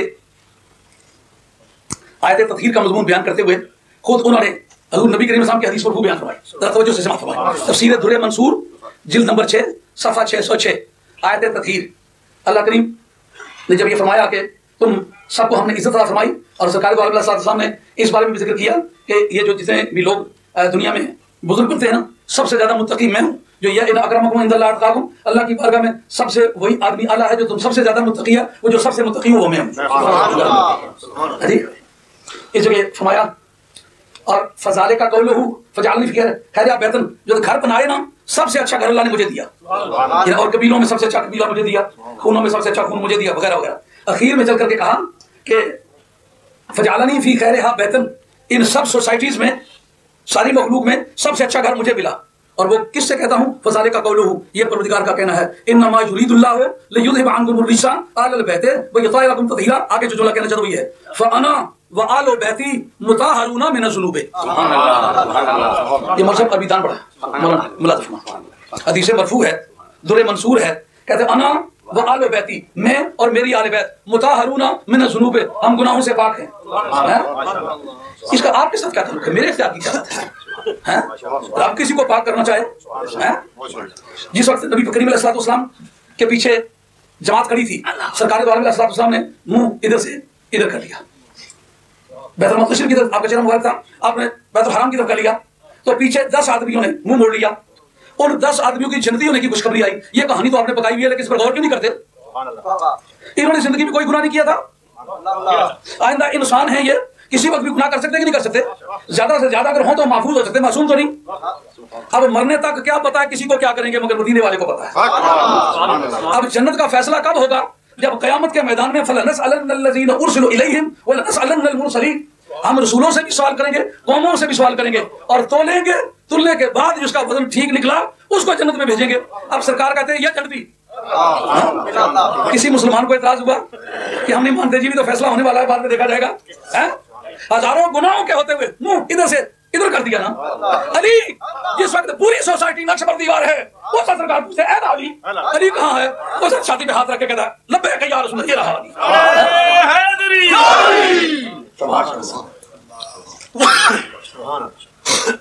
मूव करनी है? मुझे नहीं पता ना सिद्धू खड़े पर तो पुठा खड़े पर। ये N four O eight V W के ये गाड़ी कहीं काबिल तराजी पर खड़ी है मेहरबानी करके अपनी जगह से हटाएँ। अच्छा तरीका निकाला कि मैं आ गया हूँ। मैंने पहले देख लिया। तो एक नाथ खान जब खूब गर्मा गर्मी से नाते शुरू एक पाउंड आके के देता है। इसका मतलब मेरा जल्दी से नाम आप लोग इस मजलिस के सरप्रस्त हैं। वानी है। आपको पहले आना चाहिए। क्यों भाई? फैसला तो कयामत के दिन होना है। तो सरकार ने आज कर दिया। कोई ताकत बोली? यार उस तारीख नहीं बोले। औलाद फातिमा के बारे में क्यों बोलते हो? जिस तारीख गजवा तबूक हुआ हज़रत उस्मान गनी रज़ी के पाक ने सरकार की बारगाह में कुर्बानी की तीन सौ ऊँट पेश किए और एक हज़ार अशरफी पेश की। तो सरकार की गोद में जब अशरफियाँ डाली, सरकार को, सरकार प्यार आ रहा था। कान युकल हाफी हज रही सरकार अपनी गोद में उनको उलट पुलट रहे थे रहे थे मादरा उस्मान मा अमिल यौम ये नहीं फरमाया कि उस्मान इसके बाद गुनाह नहीं करेगा। खा जितना मर्ज़ी है गुनाह करे। हैं? मादरा उस्मान, मा। ये माँ मौसूला के साथ जनाब मुस्नद है। मुस्नद जब माँ के साथ आए तो आप जानते हैं कि भलाकियों के हम उसकी कीमत कितनी होती है। कहते हैं, जो भी इसके बाद उस्मान करे हैं माँ मेरे आपके बाद जितने भी गुनाह करे गुनाह जाने और बैठ जाए इस पर किसी को इतराज हुआ अब शिया को यही बीमारी लगी ना उनसे को बातें बातें खिलाफत के मामले में हुई होगी इंसान है कोई कोताही होगी वो मेरे मुस्तफ़ा ने फरमाया कुछ भी करे कोई चीज़ उस्मान का कुछ नहीं बिगाड़ सकती मैं सरकार पर ईमान रखता हूँ कुछ किया होगा तो भी कुछ नहीं बिगड़ेगा तो जब हज़रत उस्मान का कुछ नहीं बिगड़ेगा तो असलो हुसैन का क्यों बिगड़ेगा इसमें बड़े समझने वाली बात कि जनाब जो परहेजगार है मुत्तकी है वो तो आल है। जो परहेजगार नहीं है वो आल नहीं है। ये एक सवाल है। इस पर मैं आपसे अर्ज़ करूँ अगर कुरान से वैसे शवायद पेश कर दूँ जो ये साबित करे कि आल आल होती है ख्वाह कोई अच्छा काम करे या ना करे। ये कि अगर अगना आला फिर और फिरौन की आल याद आई अंबिया की आल क्यों याद ना आई? बड़ी मुद्दत की बात है जब ये मौली महमूद साहब, मुफ्ती महमूद साहब बनाए गए थे, उसके मुतहदा महाज के सदर। तो दूसरे तबके ने कहा था कि वो जो अबरा का हाथी था, उसका नाम महमूद था। तो वो आगे आगे था, इनका भी महमूद है। अब हमारा उनसे तो कोई ताल्लुक नहीं था, लेकिन हमारी जमात के अकाबिर उसमें शामिल थे। मैंने कहा, इसकी क्या वजह है? तो मैं एक काफिर का हाथी तो याद आया। असा अयब आसा का रब्बु का मकाम महमूदा। मदीने वाले का वो बंगला क्यों याद नहीं आया जिस पर सरकार खड़े हुए शबात फरमाई असल बात है अपनी अपनी राग है। जितनी जितनी मिलती है।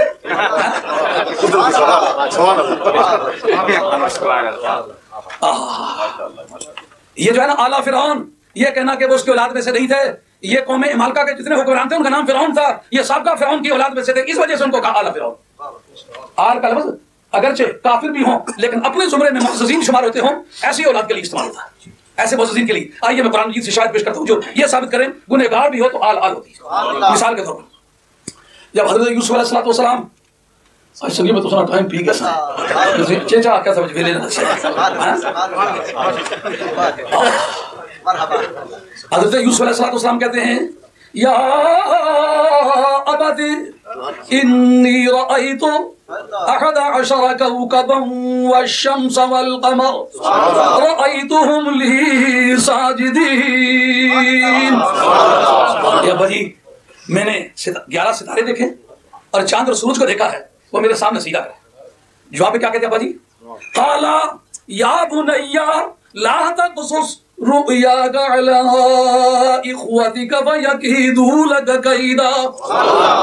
तो बेटे अपने भाइयों के सामने ये ख्वाब ना बयान करना वो तेरे साथ कुछ चाल चल जाएँगे हैं? आए पैगंबर खुदा दौरे हाजिर का दानश्वर कहता है नबी को कल का पता नहीं आपको किसने पता चला सिर्फ़ भाइयों के सामने ना बयान करना मालूम हुआ जितना उनका प्लॉट बना हुआ है वो सारा प्लान वो उनके इल्म में है कि क्या करना है वो तेरे साथ चाँद चल जाएँगे इन शैतान लिल अदुव्वुम मुबीन शैतान बड़ा बदतरीन दुश्मन है इंसान खुद मुखलत और आगे बताते जो तूने देखा उसका मतलब समझो क्या है कहता उसका मतलब यह है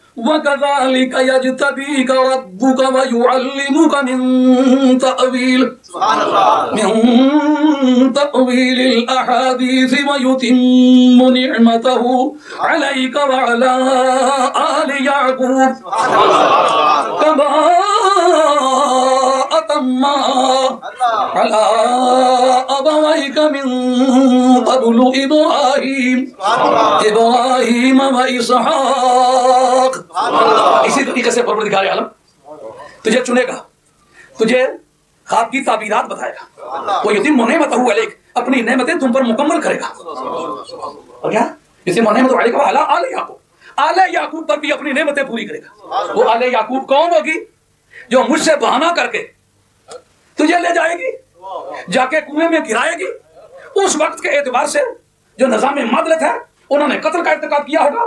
गुनाह कर लेना या कर चुकना और गुनाह करने का इरादा करना यह फ़र्क हमारी शरीयत में है। सबका शरीयतों में गुनाह करना और गुनाह का पुख्ता इरादा करना, दोनों का नतीजा एक है। तो कत्ल कर, कत्ल करेंगे करने की ट्राई करेंगे। है जी? वो तुम्हें मारना चाहे जो कत्ल की ट्राई कर चुके होंगे कानून खुलाबंदी में तो कतल करार पाएँगे। उनके मुतलिक कहा, तुझ पर भी अल्लाह अपनी नेमतें पूरी करेगा आले याकूब, वो आले याकूब कौन से हैं? जनाब, जो भाई को कुएँ में गिरा के आए होंगे। नेक है? कितना बड़ा संगीन जुर्म है। इंसानी तारीख में सबसे पहला गुना जो ज़मीन पर आकर इंसान ने किया है वो कत्ल इंसानी का गुना है। तो सबसे पहला और सबसे बड़ा संगीन जुर्म वो करके आए होंगे। उसके बाद हज़रत याकूब कहते हैं वो आले याकूब हैं। वो और किसी नबी की आल होने के लिए मासूम होना शर्त नहीं। और तेरे यहाँ ये क्यों शर्त है कि जब तक मासूम ना हो आले नबी ना हो? मासूमियत तो नबियों की शान है। हमारे यहाँ तो मासूमियत का कीदा सवाए नबियों के किसी के बारे में है नहीं। महफूज हो सकते हैं मासूम तो नहीं हो सकते। है ना? आल होके है गुनेगार होके फिर आल रहे के न रहे? कहा ना कि ये वहाँ से गिरा के आएँगे इन पर अल्लाह इनाम करेगा। सब ये तफासी पड़ी हुई है उठा के देखें।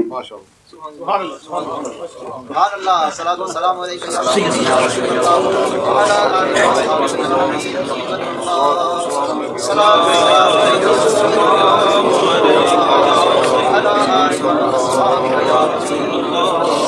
अच्छा ये देख लें। वो यतीम नेमत हुआ है कि ये मेरे आप जलालैन शरीफ है। जलालैन शरीफ खासतौर पर इसलिए पेश कर रहा हूँ कि ये दरसियात की किताब है। बाकी किताबों की वो कीमत नहीं बनती जो दरसियात की बनती है। क्योंकि दरसियात की किताबें मुदरसी ने तस्लीम की है। कोर्स में शामिल करने के माना यह कि सबकी अप्रूव किताब है। कहते वो यतीम नेमत हुआ है अल्लाह ताला अपनी नेमतें तुम पर मुकम्मल करेगा बिन नबूवत नबूवत देकर वाला आले याकूब और आले याकूब पर आले से कौन है? औलादो उसकी औलाद। अच्छा बाकी तो सबकी औलाद उनकी आल है। अब तुम्हारे यहाँ यह है कि जिस आदमी ने इस्तिंजा अच्छी तरह किया वो आल है? समझ आइए बात? ये बात समझ है कि नहीं? अच्छा इसी पर बस नहीं। जिस वक्त कौमों के उरूजो सवाल का ज़िक्र कुरान मजीद ने किया और बतलाया कि बनी इसराइल पर जो सवाल के दिन आए वो किन हालात में आए? हालात क्या थे? कि जो मॉडर्न लोग पैदा हुए ना और थे कौन? आलो मूसा आलो हारून। ये उनकी औलाद के लोग थे। उनके खानदान के लोग थे। हाँ जी? बाद उनके चचे की औलाद में से थे। लेकिन भारत जिनका मुँह से आला एक एक ब्लड के लोग हैं वो हाल कहला रहे अच्छा जनाब औलाद फातिमा के लिए आल होने के लिए ये कंडीशन इम्पोज करना कि जब तक मुतकीन हो आल बैत तो होंगे लेकिन आल नहीं होंगे। अच्छा अगर मैं ये साबित करूँ कि आल भी उसी को कहते हैं जिसको आल बैत कहते हैं। आल बैत भी वही है जो आल है तो फिर ये पहले बात सुनो। अच्छा कुरान कहता है जिसके बादशाह के लिए मुकर किया जनाब तालुत को। और नबी है पहले। वकाल नबी गुम कद बासलकुम तालुत मालिका। इसमें वो शिया के उसका और का भी जवाब है। जो कहते हैं, जनाब, अफजल की मौजूदगी में मफजूल की खिलाफत मुलाकात नहीं होती। हम तो मफजूल के कायल नहीं, उनको अफजल समझते हैं। लेकिन बकौल तुम्हारे, अगर तुम मफजूल समझते हो तो फिर भी ये कौल कुरान मजीद के मिजान पे पूरा नहीं उतरता। खलीफा कौन बनाया जा रहा है? जो बादशाह है, तालुत है और किसकी मौजूदगी में? मासूम की मौजूदगी में। मासूम की मौजूदगी में महफूज को बादशाह मुकर किया जा रहा है। तो कुरान मजीद की जो टर्मिनोलॉजी है, उसकी रूह से तुम इस कायदे के मुताबिक भी मुदरस हो सकते जो तुम्हारा अपना कायदा है। उन्होंने कहा कि जनाब इसको खुदा ने मुकर किया, उनका सबूत लाओ। ऐसे ऐसे मर्दाने खुदा भी गुजरे हैं। ऐसे ऐसे मर्दाने खुदा भी गुजरे हैं कि नबी से कहते हैं सबूत ला नबी की ज़ुबान काफ़ी सबूत नहीं, कहते सबूत ला वो एक साहब थे उन्होंने एक नौकर रखा। तो उन्होंने कहा, जो कुछ कराना चाहते हो डायरी पर लिखो। पर लिखवा लिया। अब इतफाक की बात जाती है तो घोड़ा कहीं दिखा राय साहब घोड़े से गिर के खट में जा लगे तो वो उसको कहते हैं, और नौकर, निकाल मुझे यहाँ से। उनका मुझे डायरी निकाले तो देखोगे, ये उसमें लिखा हुआ है कि नहीं? है कोई किसी की बात? नबी को कहते हैं, सबूत ला। उनका इन आएगा तो मुल्क ही अयात यकुम ताबूतो फ़ी सकीनतुम मिन रब्बिकुम व बकियतुम मिम्मा तरक आलु मूसा आलु तुम्हारे पास संदूक आएगा जिसके अंदर तुम्हारे वास्ते तस्कीन है। तस्कीन में बड़ी चीज़ क्या थी? लोहे और उसके अ, तौरात की कुछ तस्तियाँ थी और उनका नारायण मूसा के। ऐसे बिगड़े मुँह के लिए जूता भी एक चीज़ है। वो नारायण मुबारक भी आपके हैं। लेकिन ये है कौन सा? मैं मातारा का आलो मूसा व आलो हारून। ये वही कौम है जो फेंक आई थी ना। कि ये पुरानी चीज़ है। तो जो अपने अबाव अजदाद की वो वो निशानियाँ जो उनकी कामयाबी का ज़रिया बनती थी उनको फेंक आए थे वो काफ़ी मुतकी थे। नबी के मिलाद में इस्तेमाल होने वाला संदूक के साथ रुखमानी अबू जाफ़र की रवायत है कि वो वो संदूक था जिसमें मूसा को डाल के दरिया नील में डाला गया था। जब तक वो नबी के मिलाद का संदूक उनके पास सलामत रहा उस वक्त तक वो जीतते ही चले गए। इस्तिस्का की दुआ मांगने गए। बारिश के लिए दुआ मांगी। छम छम बारिश रिमझिम बादल बरसा। और किसी मैदान के साथ लेके गए कामयाब हुए। मॉडर्न लोग ने कहा पुराने लोगों की कहानियाँ बना रखी हैं खामा खामा ने उल्लू बना रखा है। जाओ इसको जाने मक्खियाँ बैठ बैठ के कुछ का कुछ कर डाला इसका। ये हमें नहीं चाहिए। हम जदीद लोग दुनिया पता नहीं कहाँ से कहाँ चली गई? हैं जैसे आजकल नहीं कहते? हैं? उन्होंने नबी के तबरुकात फेंके थे काफ़ी अच्छे लोग थे। आल कहा के नहीं कहा? जनाब कोई कहे एक खाम के लिए है एक खाम तो कलमा मोमिल हो नतीजा लाता ना हो तो फिर तो कहा जा सकता है। लेकिन अगर उस कौम को अपनी बुराई का यकीन दिलाना हो कि तुम्हारा हाथों की कमाई हुई, तुम्हारी ये जिल्लत है। तुम वो अपनी कामयाबी का राज खुद तुम फेंक के आए थे। वो दुश्मन के हाथ लगा था। अब हम उसको वापस करना चाहते क्या तरीका होगा? का तरीका ये होगा कि वो जो बादशाह था, जालूद, उस पर ऐसे वबा आई। छह सात गाँव के गाँव साफ़ हो गए। उसने कहा ये संदूक मनहूस है, इसको वापस करो। मालूम जब ये मिटने पे आए थे तो संदूक इनके यहाँ मनहूस था। जब वो मिटने पे आए तो संदूक उनके यहाँ मनहूस था। और नबी के मीलाद की इज़्ज़त करने वालों ये मनहूस चीज़ नहीं। जब कोई कौम मिटने पे आती है कहते हैं ये बच्चे यतीमों पे खर्च करता है। वो सुर्खी पाउडर के पैसे यतीमों पर क्यों नहीं खर्च करता? है? वो कॉस्मेटिक के पैसे क्यों यतीमों पर खर्च नहीं करता? घर के डेकोरेशन पीसेस से तो यतीम खाना क्यों नहीं खोल देता? है? ना जैसे हमारी हदायत का राज मिलता है सिर्फ़ वही बेचो तो यतीम खाने खोलो। अच्छा जनाब जिन लोगों ने उन तबरुकात की इतनी बेअदबी की होगी और कौम के सवाल का बायस बने होंगे काफ़ी अच्छे बंदे थे। आल कहा कि नहीं कहा? इसकी क्या वजह दुनिया भर गुनहगार हो तो वो आल न जाए। सिर्फ़ आले रसूल के लिए ये पाबंदी हो, जब तक वो नेक ना हो, आल ना हो।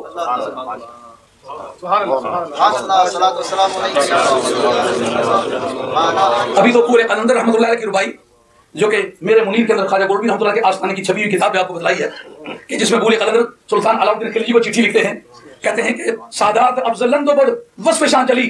औलाद मुर्तजा वो ज़िक्र गोशा ये नबी और फेल शान नज़र मुकुन खल्द जाहिली। अस्सालिकून लिल्लाह व तारिकून ये बात तो तुम्हारे यहाँ गुजर चुकी है। अगर ख्वाजा गोल्डी रहमतुल्लाह की दरगाह के हवाले को काफ़ी समझो तो मैं समझता हूँ और बात समझाने की ज़रूरत नहीं जाती। लेकिन ताहम, इनको बहुत दर्द है कि फलाम मौलवी साहब का ही हो। चलो, वो नबी पाक की, औलाद के पाकिजा फर्जंद हैं, उनकी बात मुमकिन है तुम्हें माफिक ना पड़े, मगर मैं अब तुमसे ये कहना चाहूँगा कि ये शाद रजीज साहब का तोहफा इसना अशरिया है। इसका सफ़ा नंबर सात और आठ इसके अंदर हज़रत इमाम शाफी रहमतुल्लाह वो बताते हैं कि आलुल बैत कौन है आले मोहम्मद कौन है। वो कहते हैं या आला बैत रसूलुल्लाह फिल मालूम हुआ उनके नज़दीक जो आलुल बैत हैं उनकी मोहब्बत कुरान के अंदर नाजिल की हुई आयत के मुताबिक फ़र्ज़ है। इसका क्या नाम है जी? आलुल बैत। यकफीकुम मिन अजीमिल फख्र अन्नकुम। मन लम युसल्ली अलैकुम ला सलात लहू। कि ये फख्र के तौर पर तुम्हारे लिए काफ़ी बात है जो तुम पर दरूद न पड़े उसकी नमाज़ नहीं होती। इसका मतलब यह है कि जो अल्लाह मुसल्ला मोहम्मदिन कहते हो आल का लफ्ज बोलते हो इमाम शाफी नज़दीक वही आल बैत है और वही आल मोहम्मद। कहते अगर मेरे दिल की दुनिया को खोल के देखो। तो उसके एन सेंटर में मेरे दिल के सेंटर में दो सदरें लिखी हुई हैं जिसका लिखने वाला कोई नज़र नहीं आता पर लिखी हुई है। क्या अल इल्म व तौहीद फ़ी जानिबिन व हुब्बु अल बैत फ़ी जानिबी। कहते एक तरफ़ अल्लाह ताला की तौहीद और इल्म लिखा हुआ है और दूसरी तरफ़ नबी पाक की औलाद की मोहब्बत लिखी हुई है। बातें हैं कि या राकिबन किफ बिल मुहस्सबी ये तोहफा इस्ना इसरिया का सफ़ा नंबर आठ है। या राकिबन किफ बिल मुहस्सबी मिन मिना वातिब बिसाकिन खैफिहा व नाहिदी। कहते हैं कि ओ शासवार और ऊँटनी के शासवार या घोड़े के शासवार तू मिना की वादी मुहस्सब में खड़ा हो जा। ये वादी मुहस्सब वो मकाम है जिसकी मतलब साहब हदायत लिखा कि मिना से वापस आते यहाँ ठहरे। अल्लामा बदरुद्दीन ऐनी रहमतुल्लाह अलैह। अल बनाया फ़ी शर फ़ी शर हदाया के अंदर इस जगह लिखते हैं। कहते हैं इस जगह सिर्फ़ ठहर नहीं है और कोई काम नहीं क्या वजह? उनका ये इस वजह से है कि जिस वक्त कुफार मक्का ने नबी करीम अलैहिस्सलाम के साथ बाइकाट किया था शामी मुतालिब का तो उस वक्त इस जगह बैठे थे और अपना वेट शो किया था। हम इतनी तादाद में हैं। कहा तुम भी यहाँ आके बैठो कुछ ना करो वेट शो करो कि नबी पाक के गुलाम इतनी तादाद ये जुलूस का सबूत है। दुश्मन को पता चले आ गए उसे क्या कहते हैं? मिना की वादी मुहसब में ठहर जाओ। वाकफ बेसाकिन कैफ़े हा बन नाहिदी। जो इस वादी के अंदर रहने वाले लोग हैं या यहाँ से गुजरने वाले लोग हैं? इसकी वादी में रहने वाले इस वैली में रहने वाले यहाँ से गुजरने वाले दोनों को बांके दोहर सुना दो क्या? सहरन इजा फादल हजीज इला मिना। फैदन का मुल्तमिल फरादल फायदी शहरी के वक्त जिस वक्त के इस तरह लोग वहाँ से मौज मारते हैं हाजियों की मौज उठती है कि जिस तरह दरिया फरात की मौजें उठती हैं तो इसे कहो इनकान रिफदन हो वो आले मोहम्मद। पीछे आलुल बैत कहा ना? आले मोहम्मद कहा। इसका मतलब उनकी बोली में जो आले मोहम्मद है वही आलुल बैत है। जो आलुल बैत है वही आले मैंने भी बहुत सारी तफासिर पर निशानात लगाए हुए हैं जिसके अंदर ये बात है कि नबी करीम अलैहिस्सलाम ने आए थे मुबारक के वक्त हजूर ने इन पर फिर चादर तानी। और सरकार पर हा मौलाना हा उलाए आलो मोहम्मद। हाँ आलो मोहम्मद लफ्ज बोली यानी जो माना आलुल बैत का है वही माना आले मोहम्मद का है। हैं? कहते इन काना रिफदन वो आले मोहम्मदी फलियशद सकलान इन्नी राफिदु ये इन्नी और अन्नी दोनों रवायतें हज़रत इमाम शाफी रहमतुल्लाह के कलाम में मौजूद है। जिस वक्त इन फलियशद ये काला यकूलों के मानों में हो उस वक्त माना है इन्नी। और जिस ये बैना यू बैन तब yin के मानों में हो उस वक्त अन्नी दोनों तरह पढ़ा जा सकता है। बाद लोग समझते हैं क्यों मौलाना? आप तो बड़े फादर अरबीदान हैं। हाँ जी तो यहाँ ये बात बातें हो गई कि नहीं हो गई? कि जो आले मोहम्मद है वही आले बैत है। जो आले बैत है वही आले उसके लिए ये शर्त लगाना कि अगर मुतकी हो अच्छा ये सवाल हाय हाय। ये सवाल कि जो मुतकी हो अब किताबें किताब बहुत हुई है। और मैं फिर तरतीब आपको दिखाऊँगा। लेकिन आप इतना याद रख लें। कि मेरे पास वो सामने पड़ी हुई है। अल्लामा बदरुद्दीन ऐनी की उम्दत कारी शरा बुखारी। जिल्द नंबर नौ के अंदर ये बात मौजूद है। ये कहते हैं, कुल्लु तकी नकीन वफा आली। इसके बारे में मुहद्दिसीन की दो राय है ज़ईफ बिल मर्रा। बिल्कुल ज़ईफ है। जैसे शहर पानी नहीं होता। हैं? ओ बाबा जिसे गड्डी उड़ गई, दाखिल हुई मुड़ नहीं लगी तरह ये कहना अदईफ बिल मर्रा। बिल्कुल ज़ईफ और दूसरा, वाहिन जिद्दन, दो तरह के वाहिन जिद्दन तो मौलाना ज़ईफ बिल मर्रा हो। और वाहिन जिद्दन हो अकीदे के लिए काफ़ी हो सकती है। हैं? आइए। सुन ले अभी दाऊद, सईदा आयशा रज़ी अल्लाह ईद उल अजहा के दिन दो दुम्बे आए। सरकार द्वारा ने दो दुम्बे सेवा करते वक्त कहा कि ये दुम्बा जो है, ये मेरी तरफ़ से और मेरी आल की तरफ़ से। मिन मोहम्मद आले ही ये मेरी तरफ़ से और मेरी आल की तरफ़ से है। और दूसरा दुआ, फरमाया, मिन उम्मत मोहम्मद मोहम्मद सल्लल्लाहु की उम्मत की तरफ़ से है। उस उम्मत थी कौन? उस उम्मत सिद्दीक अकबर थे ना? फारूक आज़म थे ना? उस्मान गनी थे ना? हैदर करार थे ना? अशराफ बशरा थे? इन जैसा मुत्तकी दुनिया में कब पैदा हुआ आइंदा कब पैदा होगा? हैं? बाद अजम्बिया की बड़ी शख्सियतें हैं। सिद्दीक अकबर जो हैं, बाद अजम्बिया सब सिलसिले। तो जो वो मौजूद है तो उनकी मौजूदगी में ये कहना है कि ये उम्मत मोहम्मदिया की तरफ़ से है। तो उस परहेजगार होके भी अगर कोई आल होता तो फिर यह कलमा तो मोमिन होता। क्योंकि सारे शहबा और जैसा परहेजगार तो दुनिया में है कोई नहीं। आज के अगर दुनिया के सारे परहेजगार मिलाओ तो किसी छोटे से छोटे साहबी का भी हम पल्ला होगा? हम पल्ला अगर नहीं होगा तो मानना पड़ेगा ना कि आज के अफिया के मुकाबले में करोड़ों गुना बेहतर थे। वो जिस वक्त हजूर का ये इरशाद था उस वक्त एक लाख चौबीस हज़ार से कमो पेश हजूर के शहबा थे।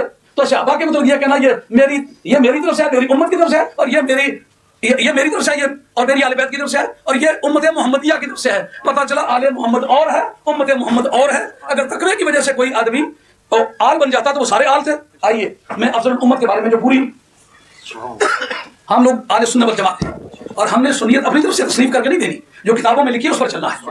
ये हज़रत सिद्दीक अकबर रज़ियल्लाहु पाक के बारे में अल्लामा ऐनी ने जिल्द नंबर नौ सफ़ा दो सौ पैंसठ में लिखा है। ये मुलाद फरमाए। कि जिस नबी करीम सलाम ने भेजा हज़रत सिद्दीक अकबर को अमीर हज बनाकर। ये इस हदीस के तहत अन्ना अबू बकर सिद्दीक रज़ी अल्लाह तआला वासो फिल अल्लती अमरहा अलैहा रसूलुल्लाह सल्लल्लाहु अलैहि वसल्लम यौम नारे फ़ी रातिल युअज़्ज़िनु फ़ी नास अल्लाह बाद नबी करीम ने अमीर हज बना करके भेजा जनाब सिद्दीक वक्त ऐलान किया कोई आदमी मुशरक होने की हालत में तवाफ बैतुल्ला नहीं करेगा कोई नंगा होकर के तवाफ नहीं करेगा बाद में जनाब हैदर करार को तैयार कि वो मायदा जिन लोगों के साथ था कि उनके साथ जंगे नहीं होगी मायदे की है लिहाजा ये मायदा खत्म है चार महीने तक तुम्हें आज़ादी है चार महीने तक हम दूसरे नहीं लड़ते तो चार महीने के बाद फिर माँ का दूध है। तैयारी करो। अब जनाब हज़रत हैदर करार सरकार की ऊँटी असबा पर सवार होकर के गए तो आगे हज़रत सिद्दीक अकबर को देख कर पूछा अमीर अम मामूर? अमीर बन के आयो क्या? मामूर बन के आयो उन्होंने कहा मामूर पीछे चलने वाला बन के, आगे चलने वाला तो नहीं? हाँ? अब मज़ा है कि नहीं?